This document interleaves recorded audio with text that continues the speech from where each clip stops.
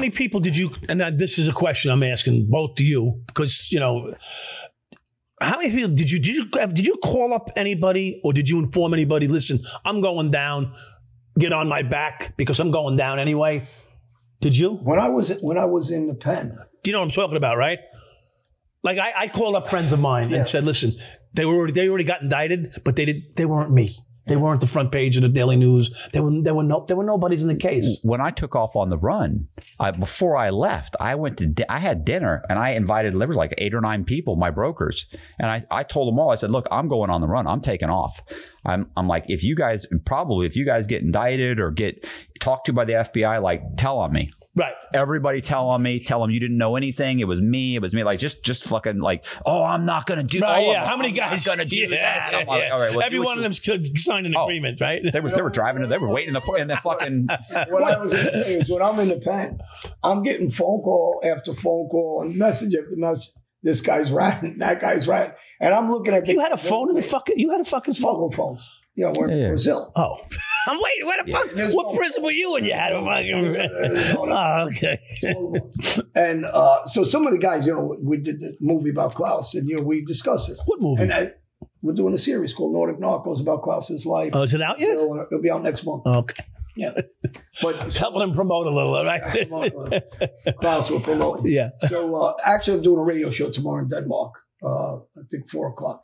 So about the show and about murder and things like that. But when these guys are all rolling one after another, I look at my friend. I go, "This ain't no surprise." I mean, you know, I've been in the street my whole life. I says, so the thing is, when you start hearing about the bosses all going against you, and when you hear about the bosses' guys and captains, now you're saying to yourself, you got to laugh and say, they're so full of shit, all this tough talk they all got. And they all got an excuse why they're meeting the FBI, why they're sitting down, why they're only giving a little information, why they do. This is nonsense talk. You know as well as I do.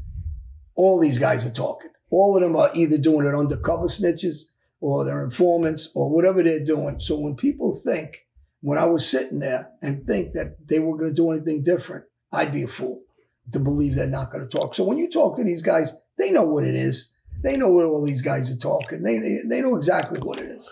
So, So all you saw all the stand up guys that that the stand up guys like you went to the meeting with eight guys, right? Yeah. I said, listen, Right.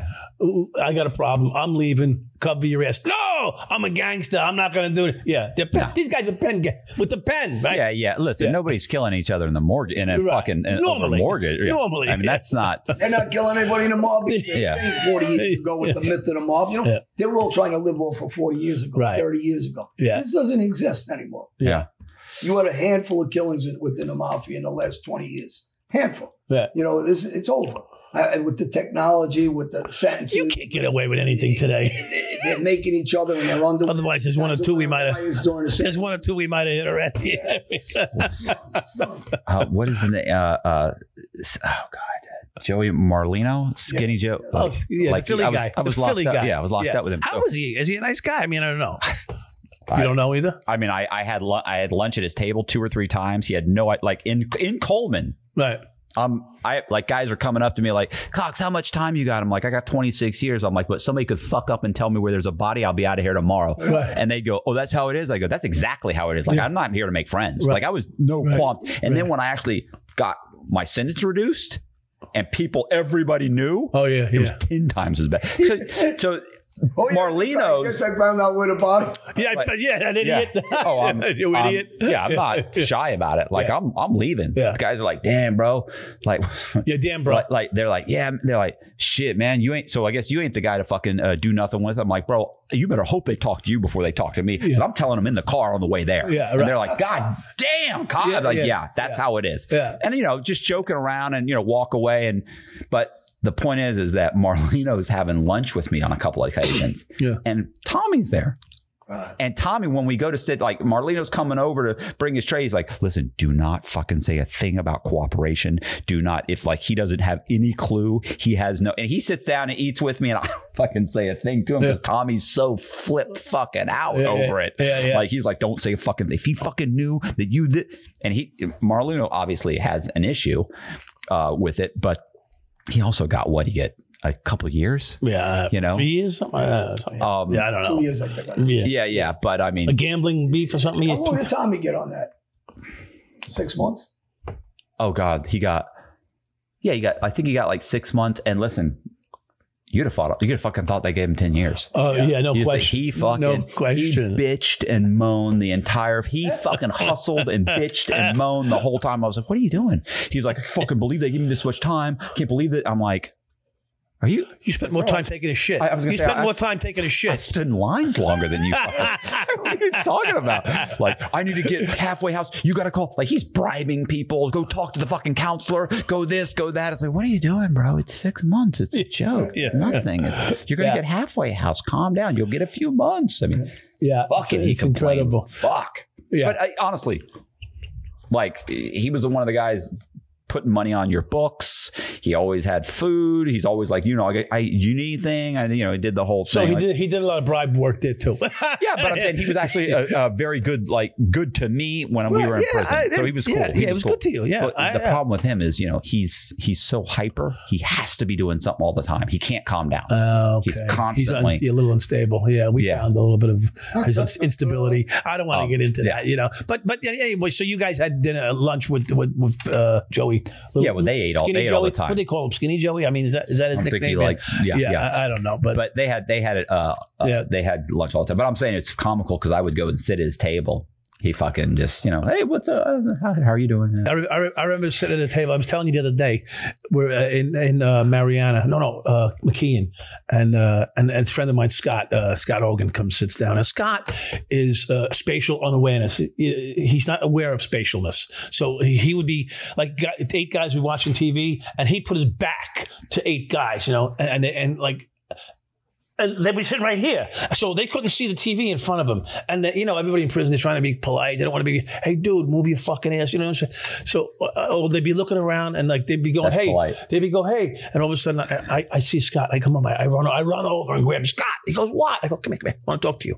He goes, what? I go, can you stand over here? There's eight guys behind you trying to watch the fucking game and you're standing in front of them. So he sits down at, at lunch with us one day. Uh, and he sat with me quite often, but there's another guy at the table who's just straight up convict all his life. This guy's a convict all his life. We're inmates. this guy's a convict. He's done state bids. He's done everything in his life. That's his whole life. this is his whole life, right? This is his life. This is what he's done. Scott sits down, yeah, rah, rah, rah, and he goes, takes up a fucking tissue and blows his nose at the table. The guy gets up and says, "You dirty motherfucker! Don't you ever do that in front of me again!" I'm like, Scott. What are you? I'm trying to grab him. Don't do that. You know, and it was a hanker. It was, it was a hanker like this big. But I told you the other day, a guy did it at the chow hall, right? I wasn't sitting there. I was at another table. And I didn't know the day before the guy warned him. He passed gas. The next day, or two days, whatever it was, a week, I don't because I wasn't at the table. I'm sitting, I missed it. I Now, where was this? Where, what prison was this at? It was uh, uh, McKean. Okay. Oh, yeah. And uh, the dream. What Lee was with me. Lee. So uh, the guy must have passed gas again. The guy just walked up and fucking hit him a shot and beat him all over a chow, which is a bad place to beat somebody. Yeah, you don't want to fight a chow hall. Inciting a riot. Yeah, and all that. right. But guys don't understand prison. It's, you know, a lot of things. You mean, yeah, there's another time I was in Allenwood, and the guy has, you know, they all put their chairs in front for the TV and whatever. That, uh, you know, you know, Yeah. Somebody sat in his spot. So no, I came in. See that. I came in and Yeah. there was no chair, and I put my chair there. And the guy taps me on the shoulder and he says, "You know, I sit here every week." So, you know, you're looking at him now. It's too late now. I'm Yeah, there. yeah. And I says, "Yeah, well, you know, there was no chair here. Yeah, but we've been sitting here for Yeah, yeah. in, in, a, in a way because we know jail. He's Right. got a point, Yes. you know. But it's too late because Yeah, and now I'm here. So, right. So yeah, next you week, beat me. Yeah, right, right. Exactly. even know, he doesn't think, maybe he's not thinking like that. He's trying to think like, That we're okay with each other. okay. Yeah. No, you can't. So now I'm not moving. I go, well, I don't know what you do every week, but I'm here. Yeah. So Oh, now my friend comes in from the door and he's looking, he sees something's up. And he looks at me and the guy walks out. So I know what he's doing. He's going to go put on his boots. I yeah, yeah, I yeah. walk over to my friend and he goes, You know, they watch basketball every day in front there. I go, It's too fucking late now. Yeah, now, you, now, now it doesn't matter. It don't matter. Yeah. the sausage Yeah. dinner don't Right. fucking matter. You know, I made the move already. Right. And I'm here and I didn't, you know, thinking back on it, you know, who knows how do you handle a situation? Because I've been in jails my whole life too. So, you know, now you got to say to yourself, well, well, it's me. I'm not the, the other guy. I'm not this average guy sitting here. Right. And uh, so he goes and puts his boots on, and six guys are, are there. And, and I think we're going to go. And then one of the guys, kind of, one of his friends that was friendly with me, was like, man, he tells his friend, just go sit there for today. And it back and forth. And I ended up staying, even though I didn't want to stay anymore. Actually, I didn't want to stay. You didn't want to watch the game. no, I didn't yeah. want to watch. But at that point, Yeah. you're not But going. I couldn't go nowhere. So my other friend says, why did you do that? I says, actually, I didn't do it purposely. right. It just happened. And then I just wasn't going to back down after that because it wouldn't look right. Right. Yeah. So, you know, and I didn't give a fuck about the game. I didn't give a fuck about the chair. But I, I kind of was, when you think back on it, I was wrong. Because, But I just didn't want to let people think that I'm moving for somebody. Right. Uh, the the same situation. I was in the medium, and this guy sat in the other guy's spot, and he waited until the guy like he never said nothing. He walked in, he saw it. Like other guys knew, okay, shit, was his he's sitting in his Yeah. spot. He didn't say anything. He waited like forty five minutes. The guy finally got up, picked up his chair, and left. So he comes up, he's like, hey man, he's like, look, the spot you were sitting in, that's my spot. Like I don't. He's like, yeah, well you weren't there. He's like, I understand, but that's my spot. Like don't sit there again. All right, all right. I, you know, I don't want any problems. Just don't sit there. Guy goes, yeah, all right, man, whatever. Next day, Yeah. puts his chair down. Okay, well, I thought to me he handled it right. I, he weren't sitting there. Yeah. He didn't know any better. You tell him later. Right. Didn't tell him like yours, where he said, "No, no, you, he's trying to get you to like move." Right. Yeah. Like, no, no, now you're embarrassing Right, me. Now, like you said, course, now I look like a fucking punk and I Yeah. can't move. He should have just waited for you to move. Right. But then, guess what? The next day, guy sat there again. Yeah, well, now he's Now he he's- looked at- Now he's saying, "Let's go." Yeah, That's he, what he said. He didn't say anything. He just looked at him. Okay. He went upstairs. He got a fucking broom for the mob. came back that water was whack, just He right in the back of to. the He dude had to. Fell down. I hit see the guys fucking get hit over knocked him out. He had to. He Yeah. had to. I mean, we all, He had to do that. but we Yeah, all used to I- put chairs out in, in, a, in a spot. Yeah. Yeah. I mean, but you really think about it when a guy comes in from jailhouse guy, and you're not going to do that to him either because we've been down a long Yeah. time. Yeah. Say, listen, I don't care what you did. You know what made you deserve that spot. And it's not like the chair's already in place. The chair's Yeah. Right. If it's And frozen, we in it, used to put a, a, a towel on there, Yeah. a blanket, we put a cup for movie night. Right. You know, that's different. But when there's no chair there and you're sitting in the spot, and he goes, "That's my spot." Yeah, it's just stupid. Yeah. Stupid. It, it is. These It's- are dumb shit things It- that happen. it's- Yeah, oh, it's it's super- I, I had Super I, stupid, I, yeah. so so I was down 11 years 11 and a half years and I, I, I might have told you a story. I don't think you, I told you the story. So I get uh, I, I watch Friends. Like Friends comes on every day right? It's- so you know and I, I listen I look forward to watching Friends. could you imagine? I like Joey and the other assholes on the show. It's fun. Plus Jennifer Aniston's on there Cox and the other blonde so it's a fun show. So they do one little thing that I always went like that in the middle in, in the introduction to the in the, the jingle to the show, right? And, and I do that, and I do it every time. So some guy, some guy, I don't know, Redbone, they call him. He, he's sitting there with the, with the big with these big cars headphones on, and he goes, "Hey," I go, "Yeah." He goes, "Can you not clap your fucking hands? It, it hurts my ears." I go, "Excuse me." Now he already made a mistake. He wasn't kind. He said, "Oh, you're hurting my ears. Stop me." I go, now, I said, what do you mean? He goes, yeah. Well, you, I said, look, I said, I've been doing this for fucking three years. Now I'm getting ready to go home in three months. yeah. He goes, I'm, I, I've been doing, I said, I've been doing this for three years.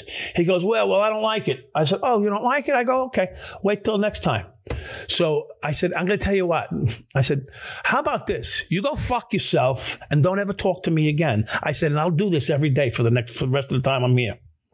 Next day, Mike, you know, he knows, I don't know him. Right. Redbone, you know, Mike, you know, come here, I want to talk to you. I said, ah, this guy wants to fucking bring it, straighten it out, whatever. Because that's what we do in prison.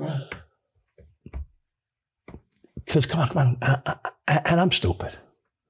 Because I'm straight up. Well, you said it. We didn't. Because I'm straight up. I'm straight up. You want to talk to me? Come on, let's go talk. You know, what's going to happen when we talk is up to us, right? When we we work it out.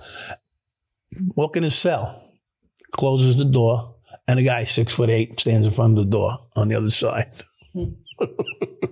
and he pulls out a knife like this fucking long. Yeah, I was telling you the story. Ah, I, I would.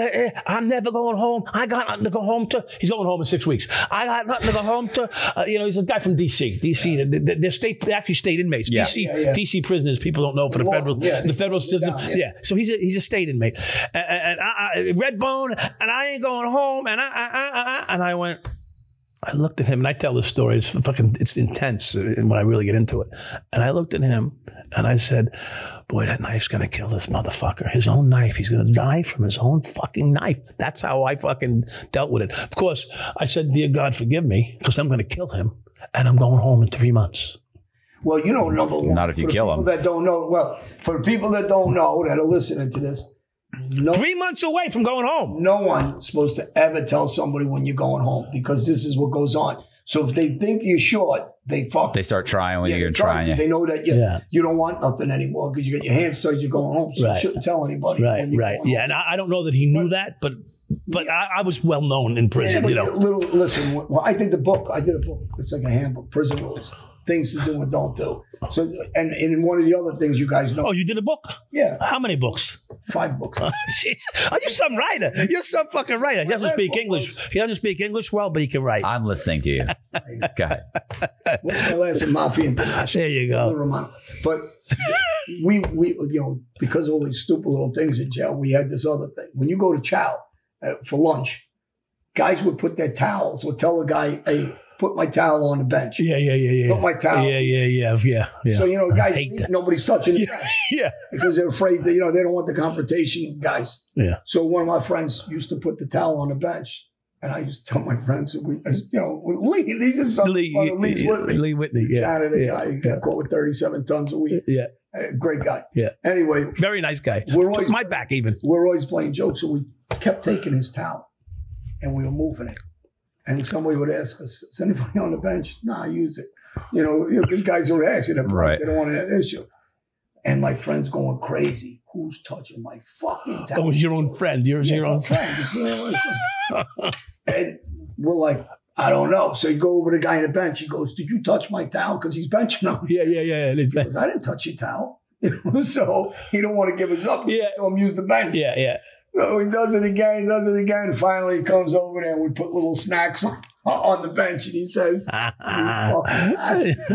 He goes, What the fuck is wrong with you? You're going to get me in a fight. Yeah. We ain't going to get in a fight. Yeah. But the thing is really crazy and everybody does that. These little games in jail is really ridiculous. Like, who the fuck makes these rules that you put your yeah, it's yours. It's yours. And it's yours and you're not touching it. Yeah, they would do that in the the, the showers. Like, Yeah, you got a fucking yeah. thing. That means I'm- like, I'm taking a it's been there shower. for- like Well, there's a line, Yeah. and there's a fucking towel that's been there Yeah. for ten minutes. Yeah. Actually, in Hillsborough, a guy did do that to me on the second floor and I was steaming.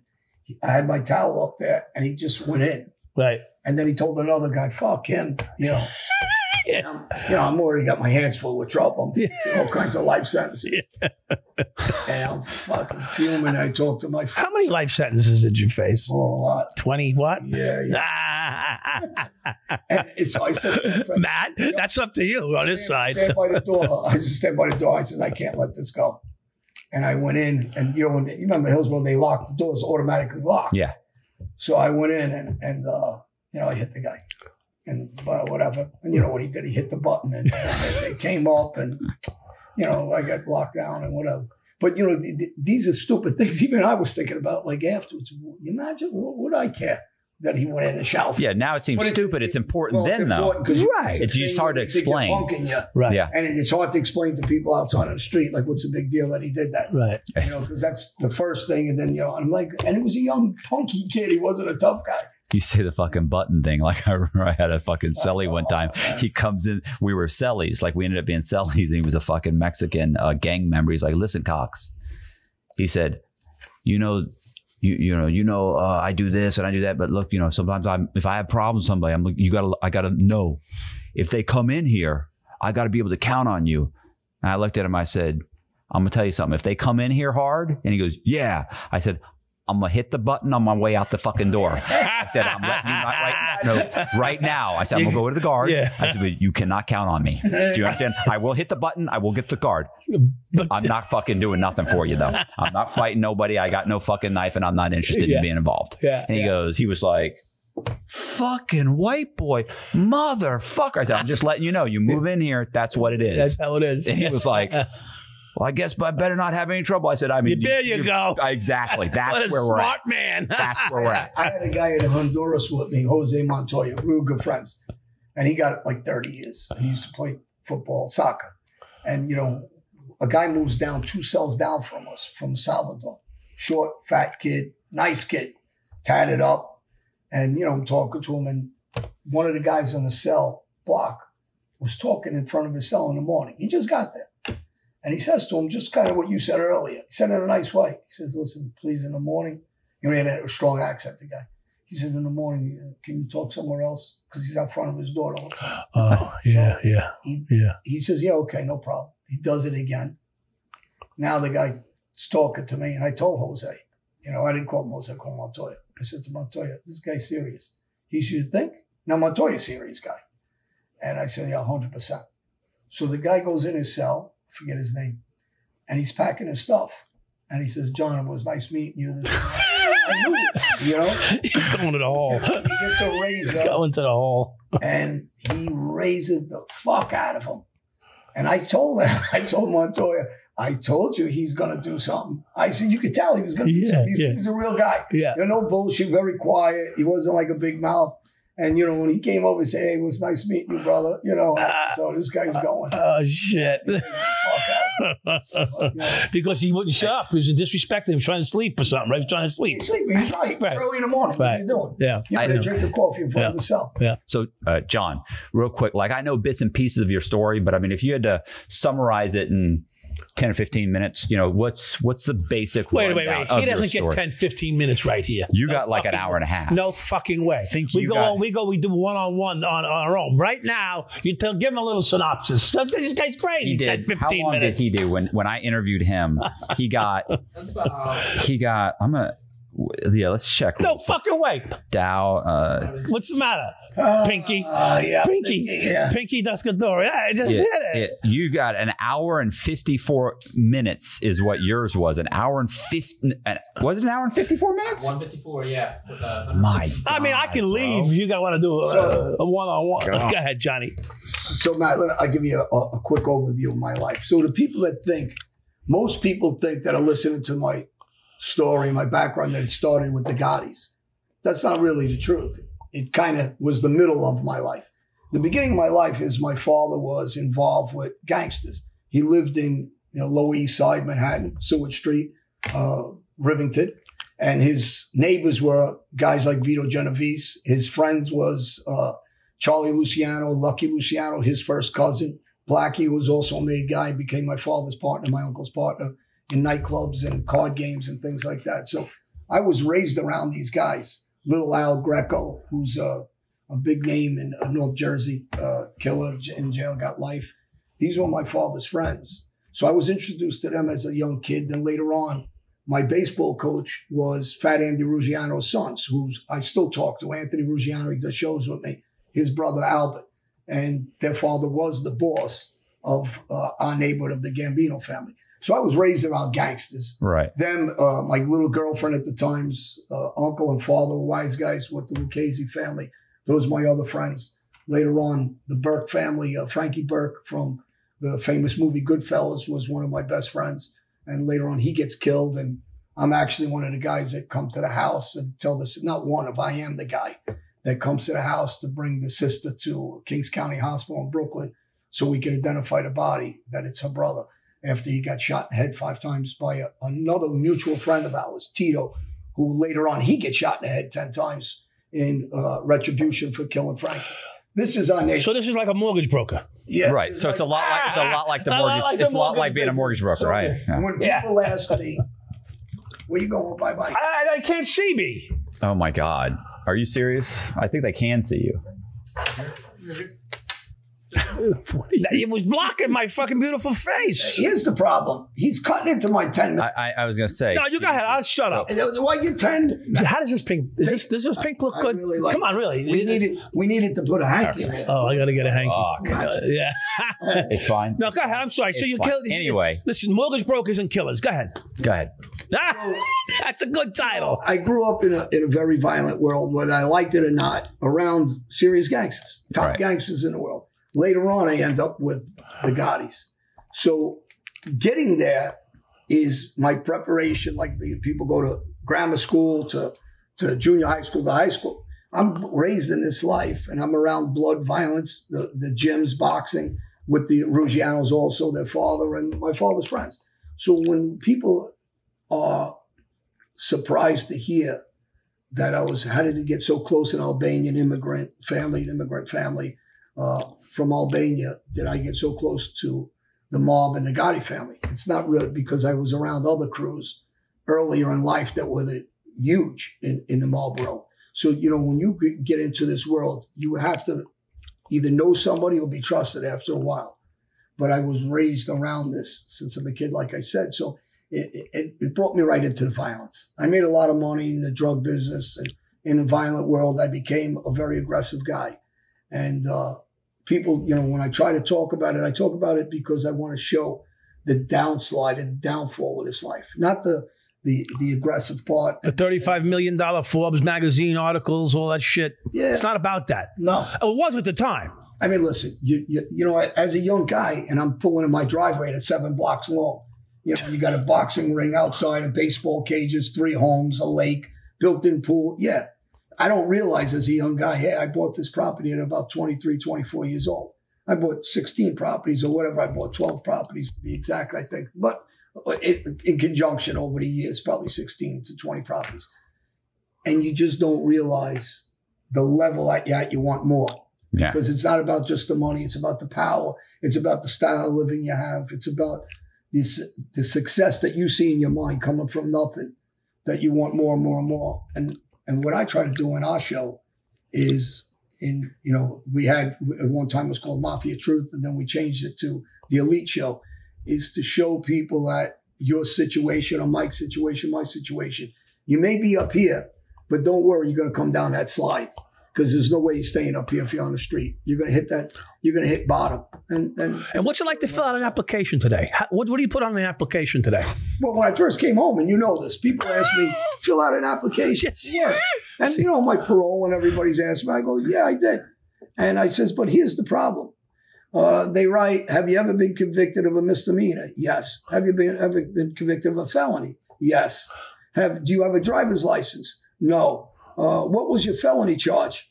Several murders. Yeah. I mean, who's hiring you? Do you Yeah. have trouble with authority? Uh, yes. Yes. Yeah. You know, so you're not getting a job unless you're going to. And this is one of the things I talk about second chance programs for inmates, uh, ability once you go to jail to come out and get any job, whatever that job may be. If you can qualify for that job, they should be able to give a job so you have a check, chance at life again. If you don't give us and other people like us a chance, then you're asking them to go back into that revolving door because you're not giving them that shot. And then, you know, kids from my neighborhood, we grew up on Jamaica Avenue, East New York, South Jamaica. We all grew up a certain way. And I understand that it's a tougher life for us than some other people. But that doesn't mean that you got to go into life of crime. We were just guys trying to take a shortcut. And, you know, the problem is you look at our government, the way it's situated, then I, you know, and I speak about this on a show. Right, right. I don't like what the, you know, listen, look what's going on in Ukraine and Russia now Oh, right? Who knows what's true because we know we can't trust our media. We know what they've been telling us for two years during the pandemic. We know what they're telling us during BLM. Don't believe your lying eyes that you see. what the burning you know, buildings? burning buildings. Uh, it's a please be in a peaceful, mo- peaceful riot. Yeah. it's a So, peaceful It's a peaceful riot. demonstration. this is a joke. So when we see that the manipulation just of that, then I'm not sure that anybody's ever going to believe the media what's going on in Ukraine and and Russia. You got to question everything that's being said now because we've seen so much lying going on to us that they, this government has allowed this to happen. Where now we are no different than a third world country of bullshit media. We're no different. We're not getting the real story. We don't know really. And I've seen some UFC fighters actually talk about this. We don't know what went on. We do know one thing: Biden was over in Ukraine uh, before he was elected president. Was pocketing all kinds of money, and it was a situation. All of a sudden, now we're in the middle of getting ourselves involved in a war. And as bad as I feel for the people and the kids, because you feel terrible for them, it's the governments we don't trust because we don't know what's really going on.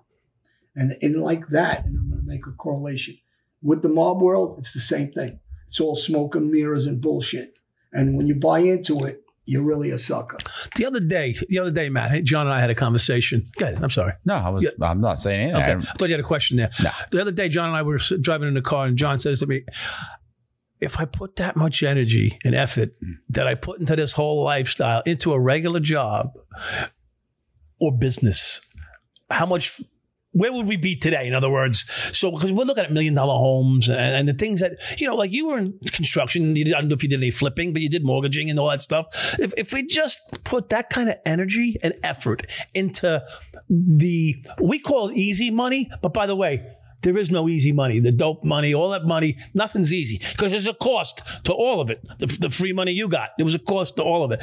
At the time, it seems easy and free, but the cost is is listen. We're paying the rest of our lives for it, including yourself. We'll, we'll I worked, very, I worked very hard at fraud. yeah, yeah. It, So, it was a lot of work. But if yeah. you pull out legit, if you bought a house, flipped it, bought another one, flipped But, it, but you were very successful for, in, in the fraud business until you went to jail. Right. Got caught. Yeah. right, But the thing is, the way we helping each other now, doing this, we could have helped each other back then the right way Yeah. right. and became very successful. If three guys with half the brains that the we right have, guys, like Yeah. you know, I helped guys like uh, you know, I used Duke Mandel and Timmy Donovan early. These guys I helped. I gave them all kinds of money. I started them out in businesses, and they fucked me. Yeah. And you know, this is you know, this also is the problem. You have guys that are just not nice guys. It doesn't matter what I did for a living. I wasn't a beat artist. These guys are beat artists. I would help them along, and you would think they'd be dedicated for me to the rest of their lives. Instead, they're trying to dig in your pocket when you're sleeping.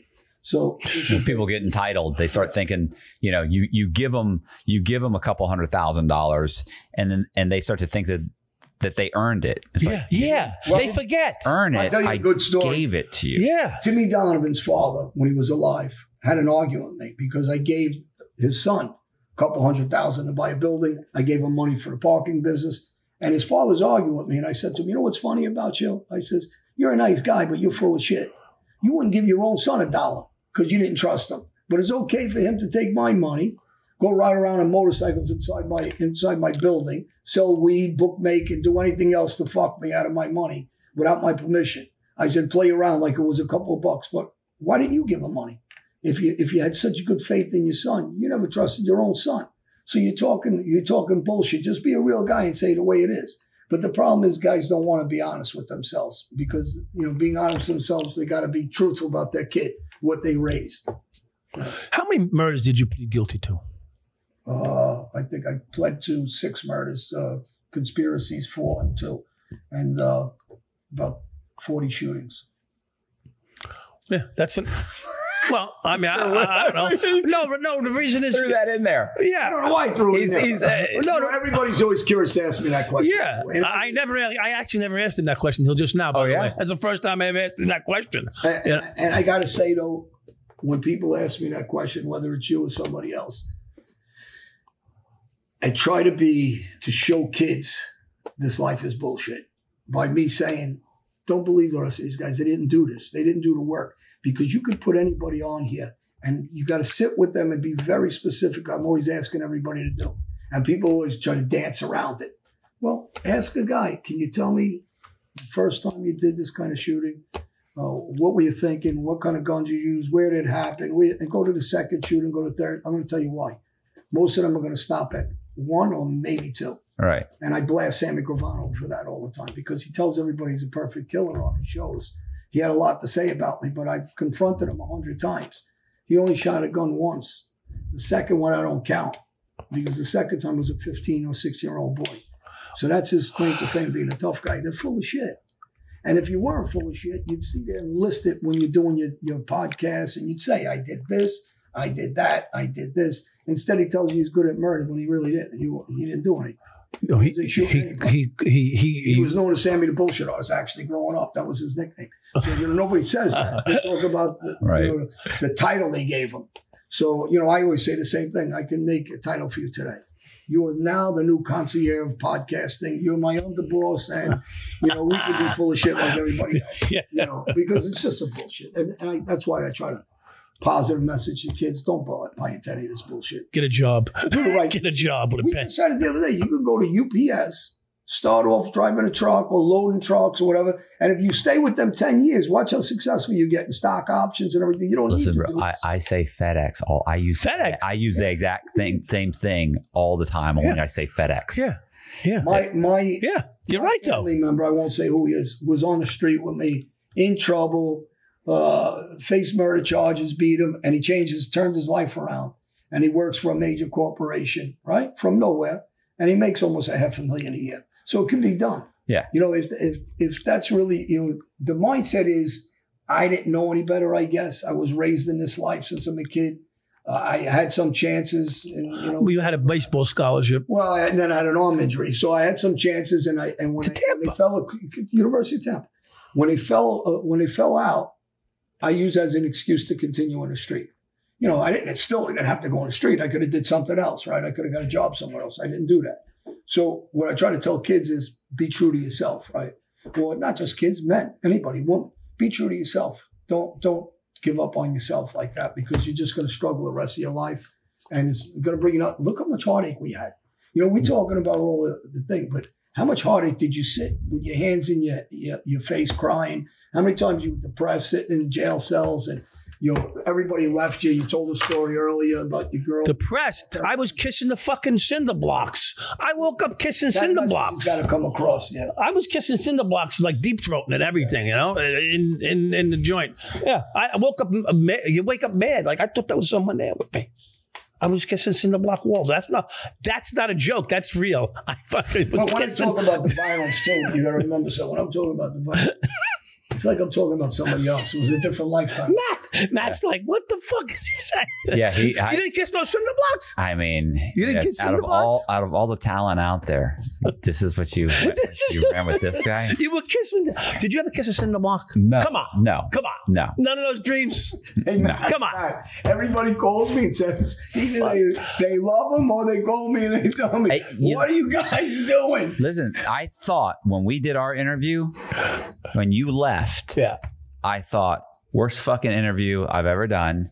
It was horrible. Yeah. It it I, I I totally when you left, I was like, holy shit! I never never asked him about this, never asked him about that. And I was like, fuck.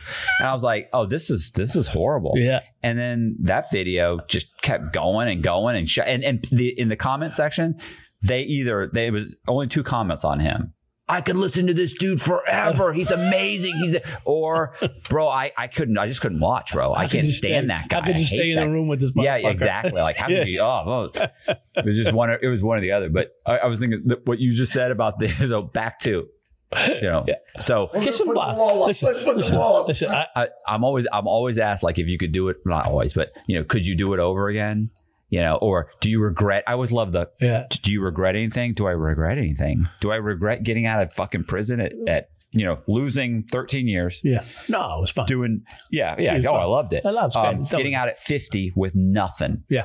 everybody's giving up on you Oh, yeah. and rightfully so, so you're a scumbag Right. like i'm doing scumbag fucking things Right. you know like when in the first couple of years i was locked up I, I was hated everybody. Everybody fucking piece of shit. This guy, I gave that guy money. I did this. I don't want to return my Yeah. calls. This guy, you know, everybody. It was it was everybody else's fault. Right. And then eventually you get to that point where you start to realize, no, if you're lucky, because I know guys that did 20 years and still hate everybody. Yeah.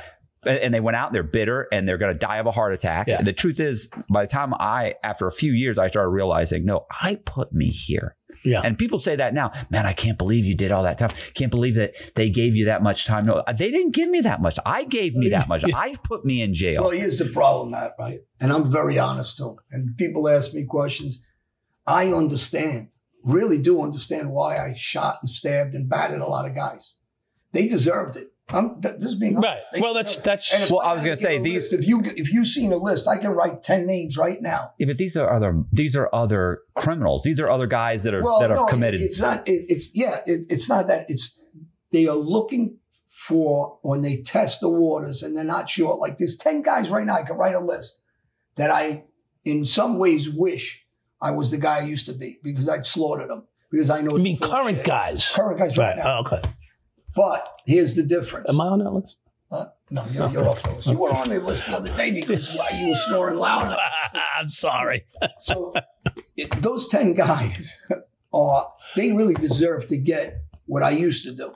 And they know I'm not going to do it. So they got big mouths and they talk nonsense and they're not in the league with me when it comes to this. They all try to because of their egos and they're full of shit and Right. whatever. And they talk and talk because it's era you can type away and all that. But the difference is, and this is what I try to tell kids that are going through what I'm going through, or men that are going through what I'm going through. It ain't worth your own life to do that.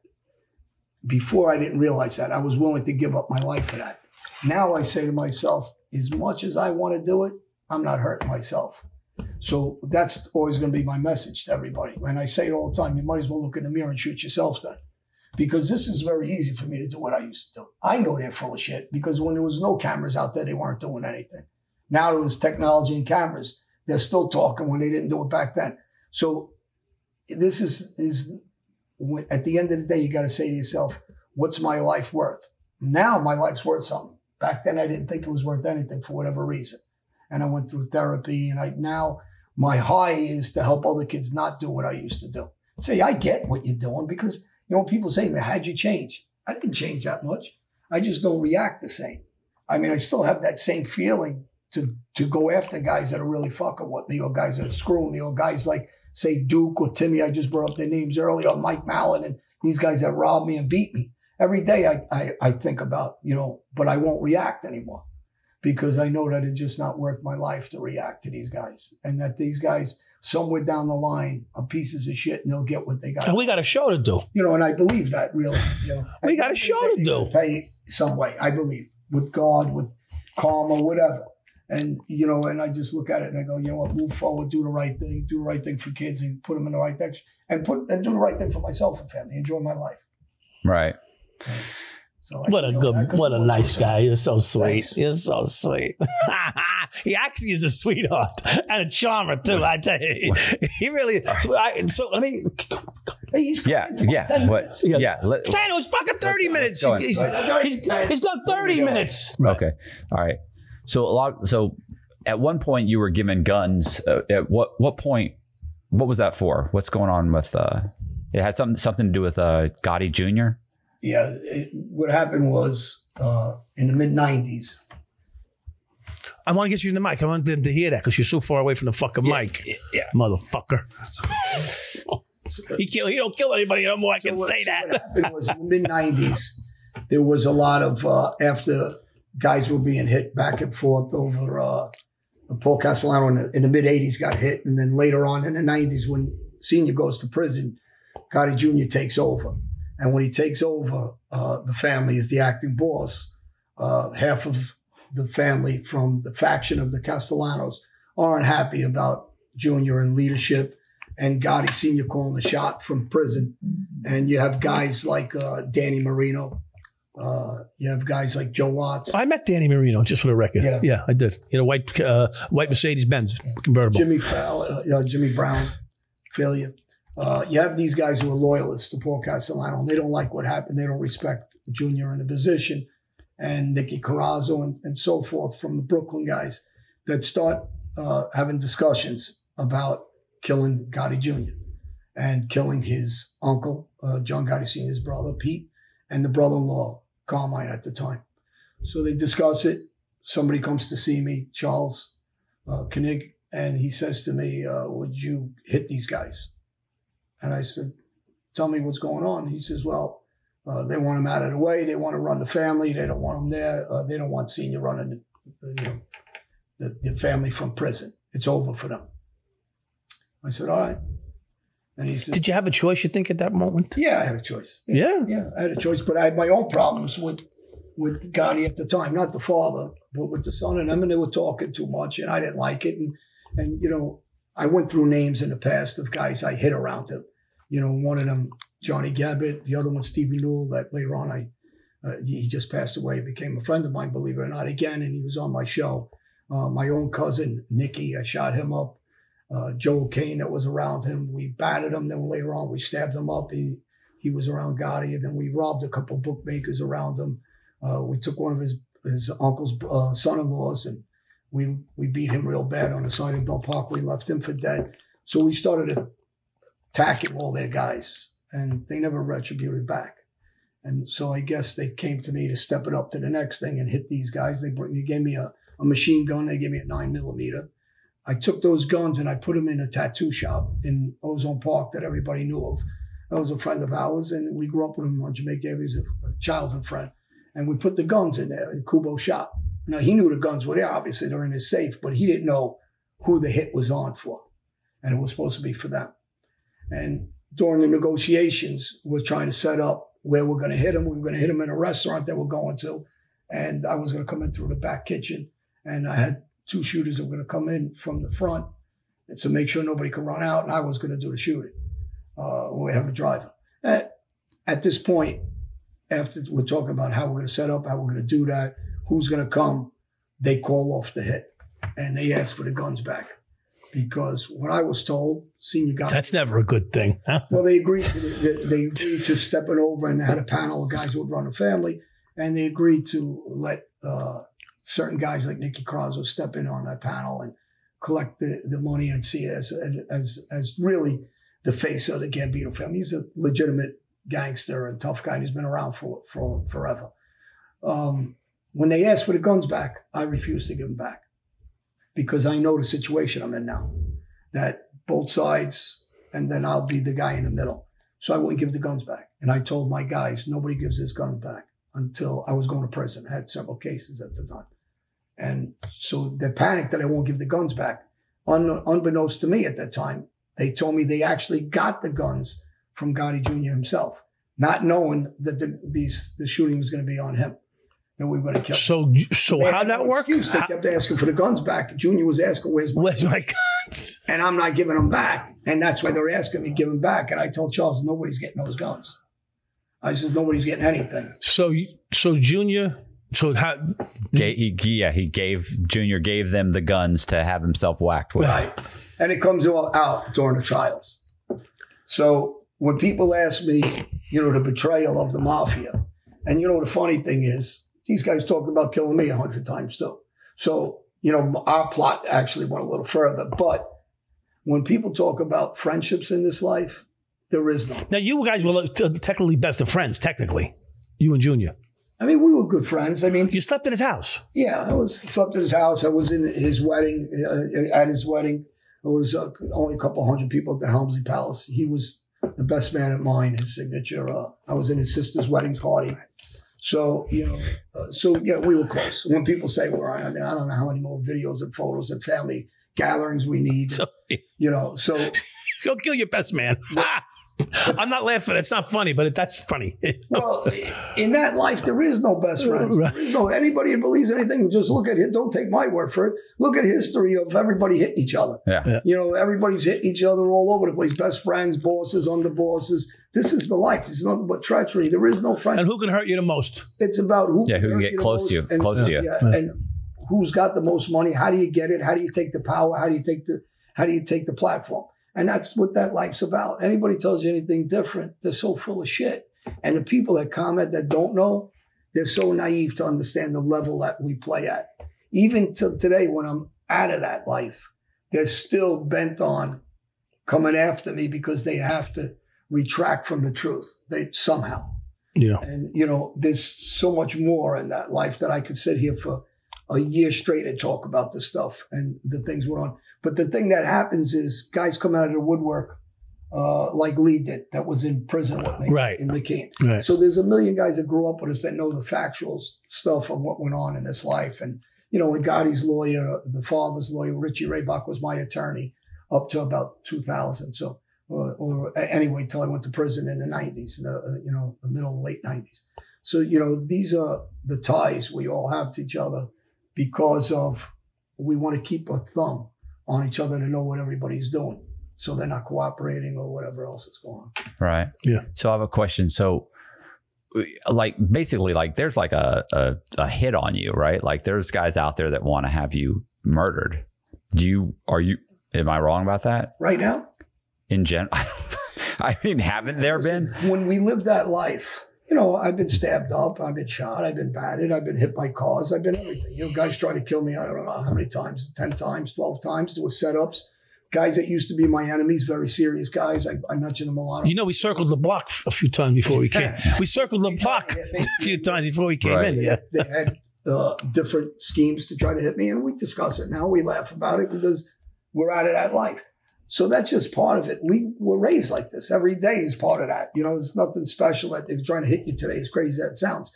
That's like saying to somebody that goes and serves a tour in Iraq or Afghanistan, uh, do you think about it? I mean, it's part of their everyday life. They put the uniform on, it's part of it. Police officer puts his uniform on, it's part of it. That's why I'm always talking about pro America, pro police, pro USA, because they're risking themselves every day. They're out there in a good way. We risk ourselves every day whether or not, because when you're doing what I do and you hurt as many people and shoot people and kill people, you're always going to be a target, right? And that's just the way it is. But this ain't the 80s and 90s when there's uh, consequences to your actions. Before, guys will be dropped constantly. Now you don't see guys getting dropped. I mean, guys could get killed still, but it's not nowhere near as dangerous. Unless you're in Chicago right now. New York is turning back into the, the old the old West again with the Not gangsters. You- no, no, the street Yeah, yeah. kids pushing people into subways, robbing them, shooting them up. I mean, it's it's getting stupid out there again. But, yeah, it's a different world. It's a different world. Yeah, yeah, I talk about that. The street kids from my neighborhood, Yeah. the gangsters are tough kids. And yeah. I just hope I reach some of them so they don't follow that street shit. Because it's getting them nowhere. Thanks, thanks, Matt, for having us in your studio on the John Alite Show. It's been really, uh, it's really been an excellent time, John. Uh, what do you think? what do I think? I already know Matt. He's a gentleman. I enjoy being in his company. So uh, this is not the first time we've been together. Obviously, you know that. Yeah. We're friends, and, and I love uh, being on with Well, thanks for having us in your studio on the John Alite Show. No problem. So, yeah, anybody that's looking and, and, and enjoyed the interview with Matt Cox, look for him on uh, his his channel, YouTube, Matthew Cox. And if uh, you need any information, on, you know, you can always reach out to us on the True John Alite Instagram, my uh, website, johnalite.com. We have books. We have my baseball bats out that I sign, and anything that you need schedules of my shows that are coming out, movies, uh, TV programs that'll all be on my website. So again, if you're looking for Matthew Cox on his channel, uh, you can find them on YouTube or ask me directly on emails or uh, write my uh, website. Thank you.